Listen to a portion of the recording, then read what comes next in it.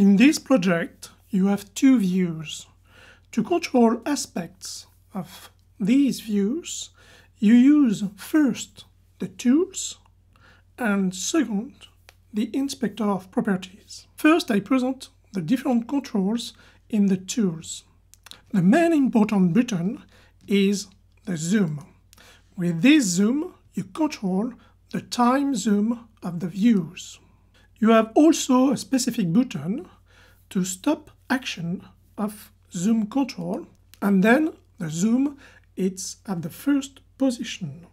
Of course, when you move the different views, each views are synchronized in the time.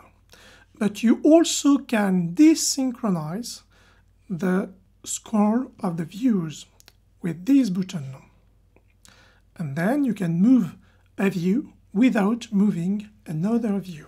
Of course, the playheads are synchronized.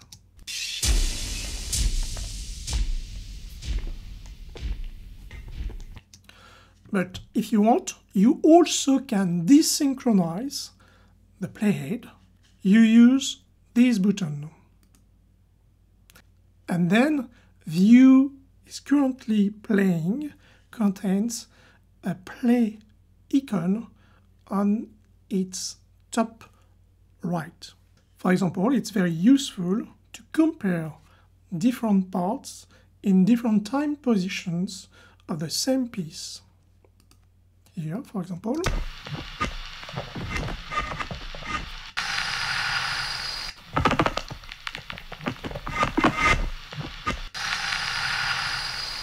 To add a new views, you use the plus button and you can choose between six types of views. For example, I create a new views with this template, a new time view with this template. And then eAnalysis create a new time view at the top. You can also change proportion between the different views by click and drag between them. If you want to delete a view, just select the view and click on this button. To change properties of the views, you use the inspector of properties. Use properties button in the toolbar to open it and then this inspector of properties show you the different properties of the selected view. You have general parameters and advanced parameters. General parameters control the graphics of this view. For example, you can add on the top left the title of this view. You can control the background to display waveform, to change its color, to display an image, and then click to select image to select the image, or just display a color, and then you can change this color.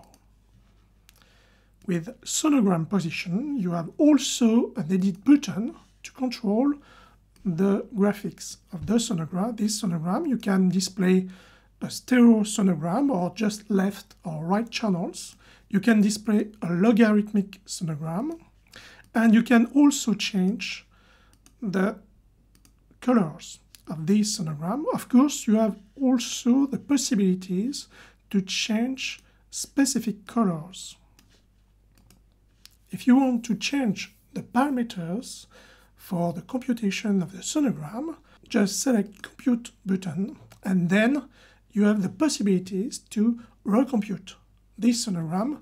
For each view, you have also the possibilities to have a specific time view. For example, in this view, I can display, if I want, the whole sonogram. And in the bottom view, I will display the sonogram but with this zoom position. And then I have two uh, different views, one which display the synoptic sonogram of the whole of the piece, and the second to display a specific part.